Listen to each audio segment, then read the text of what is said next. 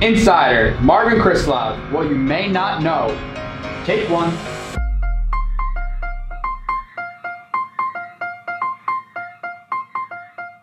I heard that President Krislov has a musical written all about him. No, no, no, no, no. That was just one song and it was performed by our PPA students. Let's look.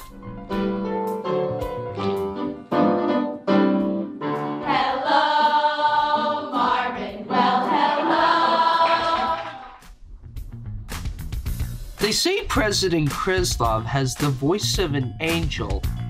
Like, it's simply breathtaking. True.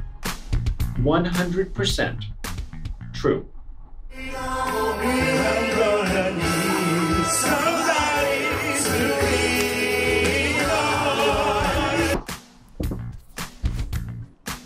I heard he single-handedly rescued 16 students from the woods.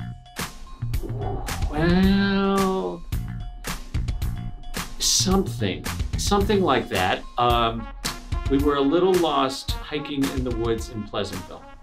Oh, we can. We can take a picture of everybody getting lost.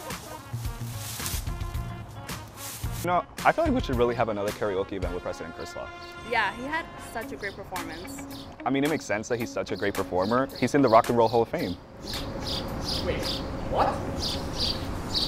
Is that even true? No, seriously, he was the construction worker, I think, in the YMCA video. I have no idea why anyone would think I'm a construction worker. Now, what I was is I was a member of the Board of Trustees of the Rock and Roll Hall of Fame in Cleveland, Ohio. The closest I've gotten to the village people is when I worked at the YMCA in New Haven, Connecticut. Hey guys, you know what I heard? President Krislov played Colonel Sanders in the mid 90s, you know, KFC. Wait, uh-huh. what? I heard he was once a jockey in the Kentucky Derby. Not true, just not that kind of colonel. I'm a Kentucky colonel, um, which is the highest honor that the Commonwealth of Kentucky can bestow. I heard President Krislov was asked to oversee one of the most important events in White House history. Really? The White House? Yeah, the 1995 Easter egg roll. Actually, that's true. When I worked at the White House during the Clinton administration, one of the things I did was supervise um, the legal work on the Easter egg roll. You know, I heard he's a dog whisperer. He's a dog whisperer?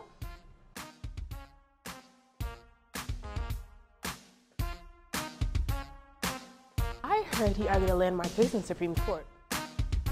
Yes, that one's true, although I wasn't the one who argued the case in front of the Supreme Court. The, when I was general counsel at the University of Michigan, we defended our admissions policy at the Supreme Court and we won. I believe very strongly that everyone deserves a chance to succeed and that student biodiversity and excellence go hand in hand.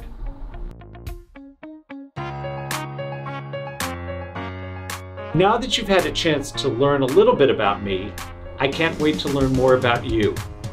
Coming to Pace University will be one of the great adventures of your lifetime. Have a great summer. We'll see you in the fall. Congratulations.